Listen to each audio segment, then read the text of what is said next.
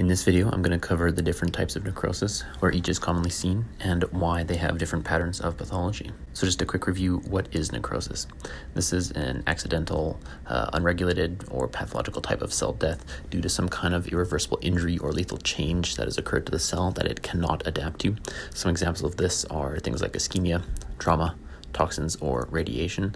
When the cell starts to undergo necrosis, the membrane integrity decreases, contents leak out, uh, like lysosomal contents, they start digesting the cell. The cell membrane integrity containing the cell goes down, and inflammation is, uh, is caused from the leakage of these contents the digestion of these contents and the inflammatory response that occurs around the cell can take several hours to develop, so there's no immediate observable changes.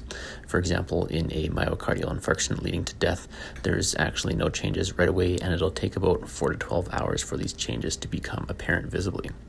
Now, there are also nuclear changes that occur due to the breakdown of DNA. The first of these changes is known as pycnosis.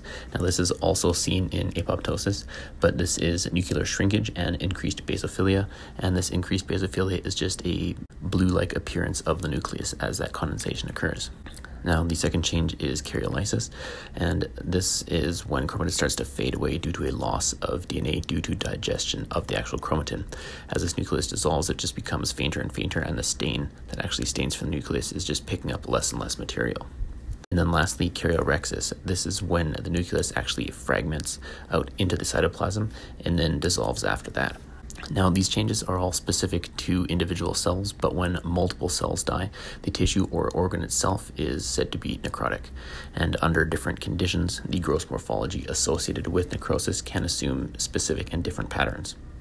Now, the first of these types of necrosis is known as coagulative necrosis. And when this occurs, the architecture of the dead tissue is actually preserved for a few days and is quite firm to the touch. So, in this type of injury, there is a denaturation of structural proteins as well as enzymes within cells. And this denaturation is what blocks the proteolysis of these dead cells. There's no more enzymes, or at least no more functional enzymes within the cells themselves to break down the tissue within the cells and the surrounding tissue. So this is what is going to help these cells to hang around, to preserve the architecture. There's nothing to actually break down the surrounding tissue. Ultimately, these are cleaned up via phagocytosis, and that is just when leukocytes are going to come in and start eating up all of the debris from these dead cells. And this is often caused by some kind of vessel obstruction leading to ischemia. And this happens throughout the body, pretty much everywhere except for the brain. Secondly, we have liquefactive necrosis. And as we just mentioned, in contrast to the previous coagulative necrosis, in this type of injury, dead cells are actually digested and the tissue becomes this kind of liquid, viscous mass. This is typically seen in bacterial or fungal infections the microbes themselves may have enzymes which start to break down the tissue. They also attract white blood cells, and these are going to release enzymes to try and kill those bacteria and fungus. Those are going to damage the surrounding tissue. The necrotic material itself has this sort of creamy yellow appearance, and these are mostly dead leukocytes, and this is referred to as pus. Now, this type of injury is very indicative of hypoxic death in the central nervous system or in the brain, and will have, again, this soft, creamy yellow appearance. Next is gangrene or gangrenous necrosis. Now, this is not a specific pattern or type of cell death similar to the last two, but this is instead a combination of those two types of cell death.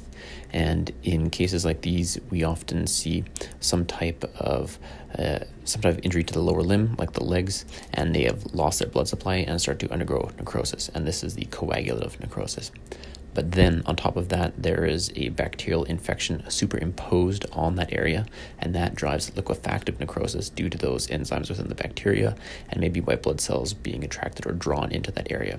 Now, this combination of the liquefactive necrosis on top of the coagulative necrosis, that combination is referred to as gangrene. Now, next is fat necrosis.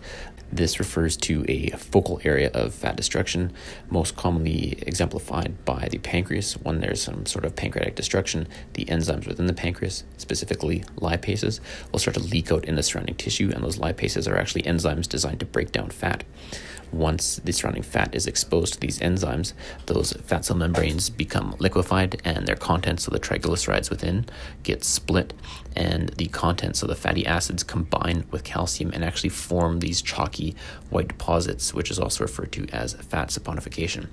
All right, the next type of necrosis, known as caseous necrosis, this is most often seen in tuberculosis.